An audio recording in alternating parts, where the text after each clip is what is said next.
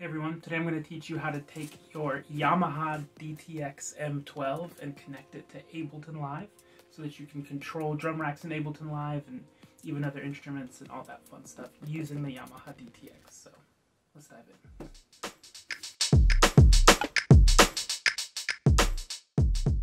The first thing you're going to need to do is download the driver. You can get it on this website um, you're going to have to scroll down and find the operating system that you're using on your system with Ableton Live. Just download that, open it up, run it. Um, once it's done installing, you'll likely have to log out or restart your system. And once that's done, you can dive into the next step. The next step is to plug it in in the back with power, plug it directly into an outlet, and then you're going to plug in the USB MIDI cable um, you can use a 5-pin MIDI in the back if you want to. It's a little more complicated. The simplest way to connect to Ableton is going to be this USB port right here. Plug one side in here and the other side will go straight to your system. Okay, once you've got your driver installed, you're going to turn it on, the power switch in the back. Then you're going to need to set up MIDI inside the Yamaha DTX so that it can communicate with Ableton. So the way you do that is you'll hit Utility, you'll hit the arrow key to the right, until you land on MIDI. Then you'll hit enter. Then you'll hit the arrow key again until you land on MIDI in out. Then you'll either leave it where it's at, or if it's not on USB, you'll use these plus minus signs to move it over to USB. Once you've done that, you'll hit store, and then enter to confirm. Now the Yamaha DTX should be set up for communicating with MIDI. At this point, you can open up Ableton, and then you'll look at the top right while you're hitting your Yamaha DTX, and you should notice a yellow square lighting up. That just means that Ableton is receiving MIDI signal.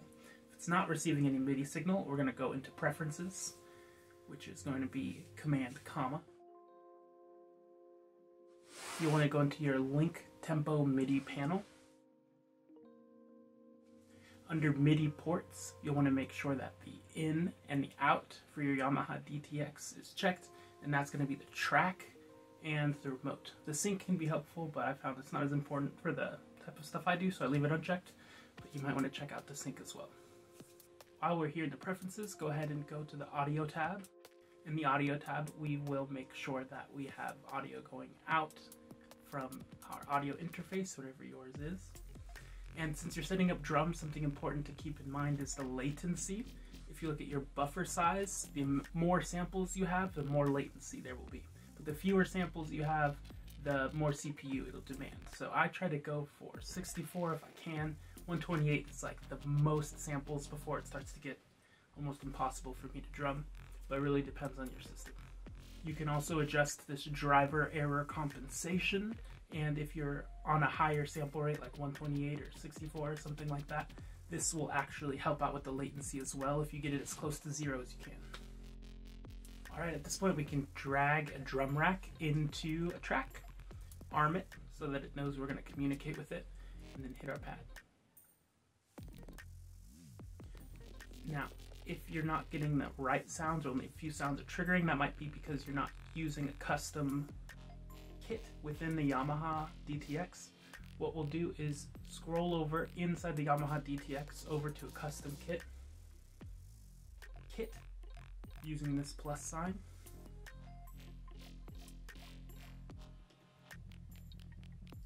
We'll choose any user kit we want to, and what we can do is map each of these pads to the default drum rack pads in Ableton.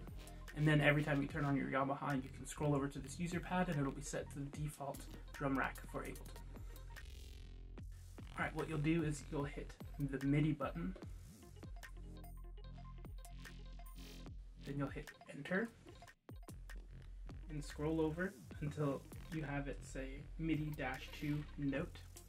And From here you pick the pad that you want then you'll move the note over until where you want it assigned.